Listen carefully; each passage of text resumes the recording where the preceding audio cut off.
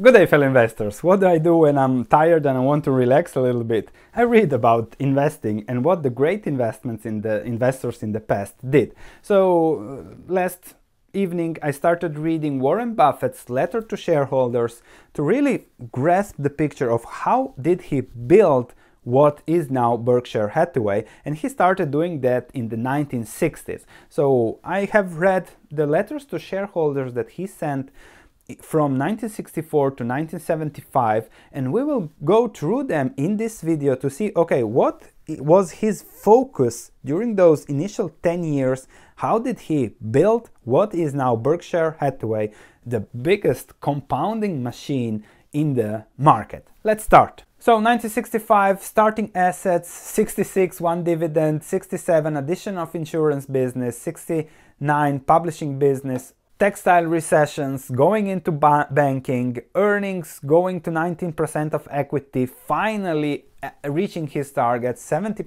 17% in 73, building the insurance empire, a bad year 74 for insurance, but he had 140 million in bonds. So let's start with 65 starting assets. It's it's very interesting to see how Berkshire Hathaway, the one we know today, was created. What Buffett bought was, yes, a business, but he bought the assets that he could slowly deploy elsewhere. There was a million in cash, high accounts receivables and inventory. So if he can sell the inventory, lower the inventory, there is the first cash.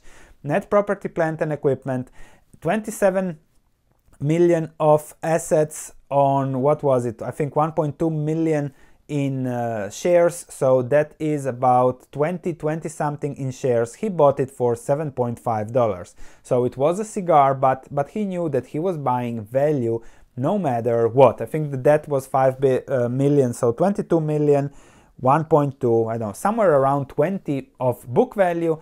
He paid let's say below 10 for that.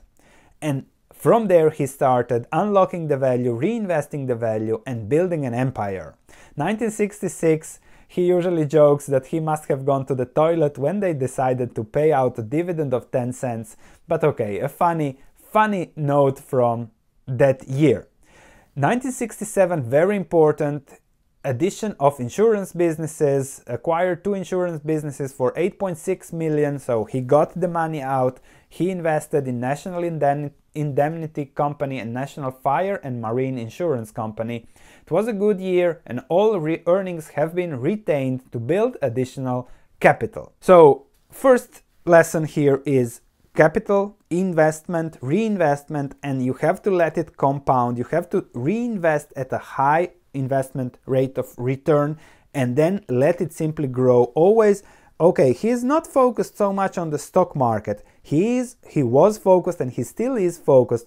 This is my capital. How can I compound that at a high rate, highest possible rate of return to get more cash back to deploy it where it is again compounded, where it again makes a high rate of return. So Buffett was a capital allocator and he started investing in insurance because in insurance you get the float, you get more capital to deploy. What's the point of insurance? You pay upfront to be insured if something bad happens. But in between, you the insurance company gets the money and in between they have to deploy that money and that's what Buffett does amazingly well. So he started buying insurance insurance businesses to get more money to deploy at a higher rate of return and that's how he started building his wealth. He started building Berkshire Hathaway. Buffett also mentions diversification. It's better to see two businesses, so insurance, and in that case, he was still uh, in the textile business that didn't do very well, but it allowed him,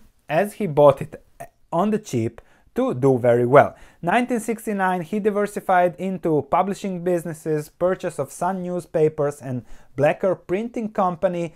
1970s, there was a textile recession. He was going into banking, more money. He bought the Illinois National Bank. However, they changed some re regulation, and we'll see in the future if he mentions how he sold that.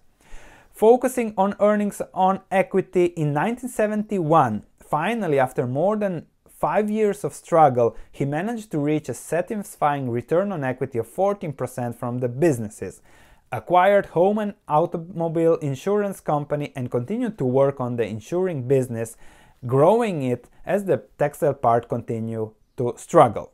1972 earnings going to almost 20% on equity, which is what he did over the future, which is what he aimed for and the earnings for the year amount to 11 million.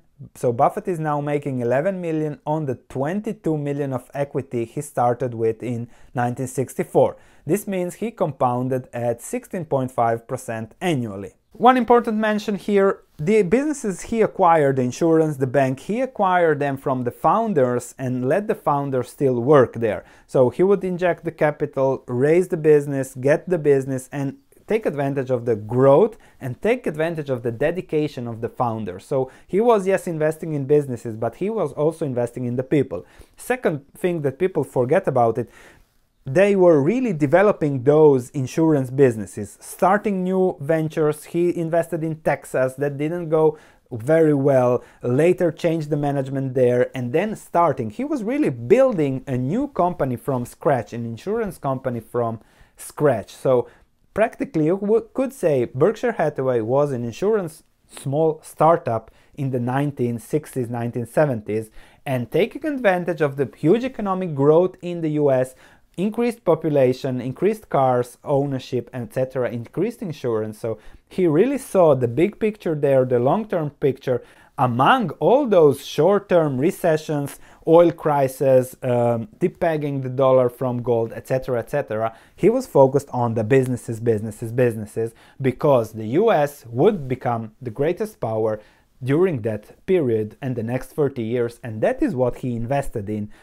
This case, insurance and diversification. And the main message here is short term vol- volatility trouble will be Vietnam War, everything. There will be always trouble, there will be always issues. Focus on the businesses, focus on high returns on investment capital, and you'll do well no matter what because you cannot know what will happen in the future. But if you focus on high returns on capital, you will do well. 1973, good return on equity, but he actually lost 12 million when investing in stocks, but he believed the intrinsic value of what he bought was very high, and despite the unrealized loss, he expected satisfactory results from the portfolio over the longer term. So, always focused on the longer term. So then they tried to merge with diversified retailing company, didn't go, uh, didn't issue stocks for that, but they acquired 90% of blue chip stamps that wasn't such a great deal, but what was included into the business was again margin of safety, See's Candy, and Vesco Financial.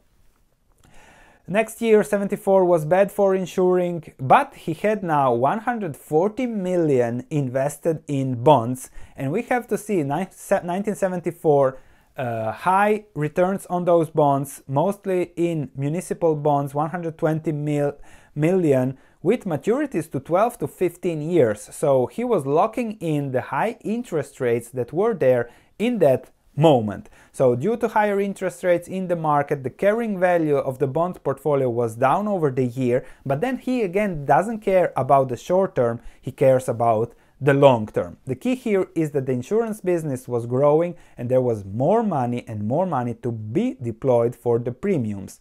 When he found high yielding bonds with low risk, he bought them because margin of safety and a good business. The stock portfolio, on the other hand, lost 17 billion for the year. However, See's Candy is what they saw as a very positive. So, focus here. Warren Buffett's focus was not on the market, on the returns, on the businesses, and I think he actually enjoyed the low prices. He knows, okay, I could have bought cheaper, but that's timing the market, you can't do it. When your business reaches your required return. Yesterday we discussed Kraft Heinz. If Kraft Heinz, you're happy with the 5% dividend yield, that's your business return, then you buy it. If you want a 7%, then you wait for it to go lower if it goes lower. And that's how you have to uh, balance things. Nobody knows what will happen. You have to focus on the return on investment. To conclude on Buffett, it's amazing how he was building cash machines high return on invested capital machines that he would allow him to compound his cash, other people's cash. He even took debt. In 1973, Berkshire Hathaway borrowed 20 million at 8% from institutional lenders on a 20-year term with principal repayments beginning in March of 1979. So he even took debt to grow debt, more cash, reinvested at a higher rate of return to get to higher returns, compounding, taking some risk, taking some leverage. And this is how Buffett, with other people's money from the float, from the debt, and with his own money, plus the value that he bought from Berkshire, where he took out part to let it grow. So again, margin of safety, taking practically no risk, just building it over the long term, being happy of or not even caring about the volatility about the markets. The stock market is rarely mentioned in his letters, just focusing on investing in businesses, which is the core when it comes to investing, and which is what we will continue to do on this channel. So please subscribe, click that notification bell for more letters to come. Thank you for watching, looking forward to see you in the next video and looking forward to your comments. Anything you can add to this year's of Warren Buffett, please add in the comments to add value and I'm sure you will find more interesting things to read there. See you in the next video.